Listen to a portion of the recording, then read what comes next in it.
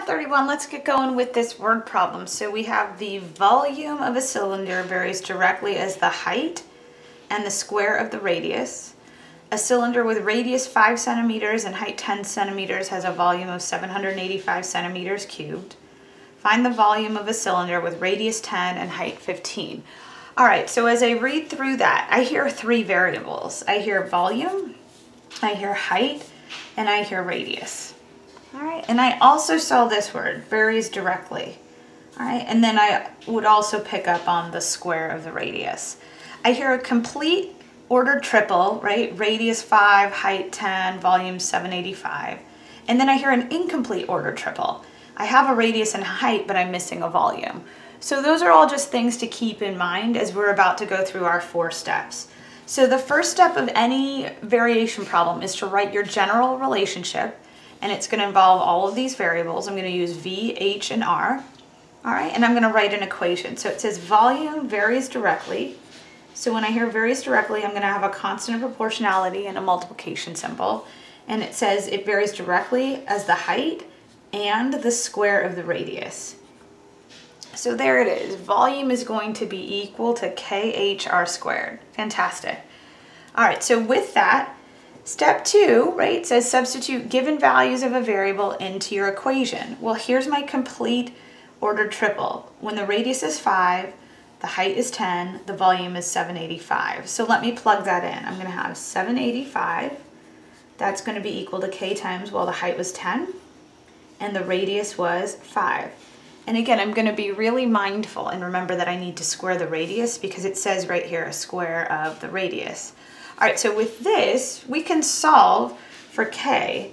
So let's see what we have here. Um, 5 squared is 25. 25 times 10 is 250.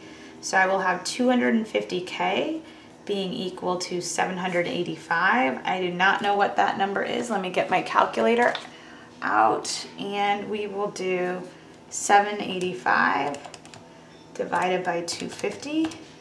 All right, I'm gonna turn that into a fraction. It looks like it was 157 over 50. I'm gonna stay with fractions. If you wanna use the decimal, 3.14, and maybe that number's a little bit familiar to you, then go for it. But I'm gonna use 157 oops, over 50. Actually, I'll put both just so you have it for reference. So K, you could either write 157 over 50 or 3.14. All right. And actually, either one is fine. I usually go with fractions, especially when decimals are non-repeating uh, and just keep on going. This decimal actually ends, it's just 3.14. So really either answer is, is, is gonna give you the exact same result.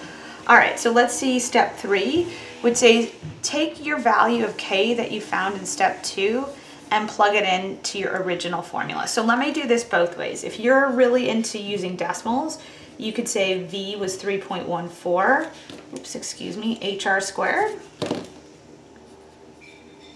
right? Or if you wanted to, right, I, I would say K was 157 over 50 HR squared. Either of those are completely acceptable answers, okay? And then so always our last step is to substitute the remaining values of my variables and solve for the required uh, unknown. And it says it right here. I know the radius is 10, the height is 15, but what on earth is the volume? So let's do this both ways. Here I would say volume was 3.14. All right, we knew the height was 15 and the radius was 10. Here I would do the same thing, but I would have my fraction. All right, the height was 15. The volume, nope, nope, nope the radius was 10. I'm not going to forget to square it.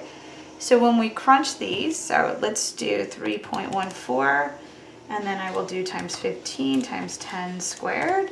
It looks like we're getting 4710. And if I do it this way, if we do 157 divided by 50 times 15 times 10 squared, we are getting 4710. Now this is all fine and good, but again, if you give me this answer as is, if you just write 4710, I'm gonna dock you a bit. You haven't given me units.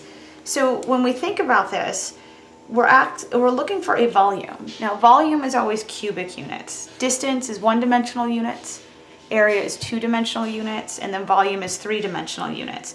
And you can actually see the units here in this volume, right? Back when we were using 785 in step two, there are the volume units.